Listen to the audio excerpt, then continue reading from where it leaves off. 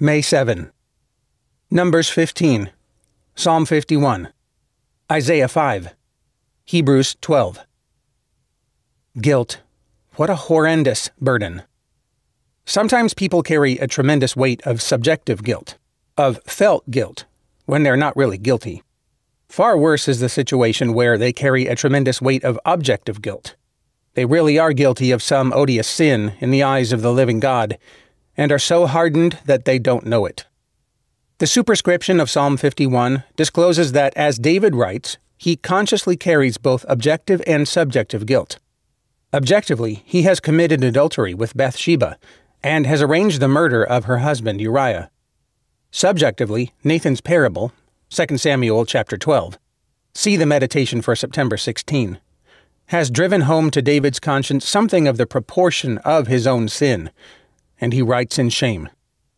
David confesses his sin and cries for mercy. Verses 1 and 2.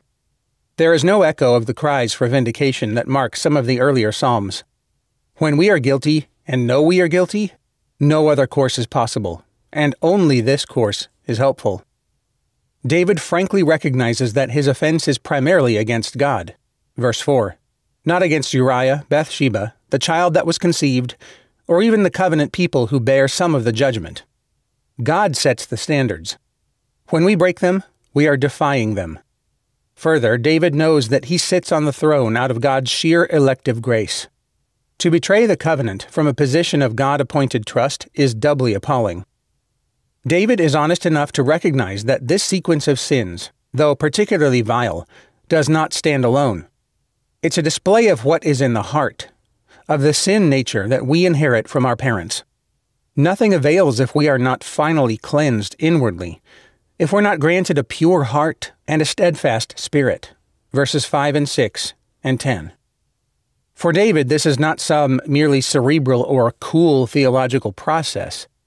Objective guilt and subjective recognition of it so merge that David feels oppressed. His bones are crushed. Verse 8. He cannot escape the specter of his own sin. Verse 3.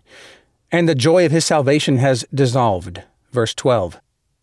The transparent honesty and passion of David's prayer disclose that he seeks no blase or formulaic cleansing. David recognizes the testimonial value of being forgiven and uses it as an argument before God as to why he should be forgiven. Verses 12 through 15. Implicitly, of course, this is an appeal for God's glory.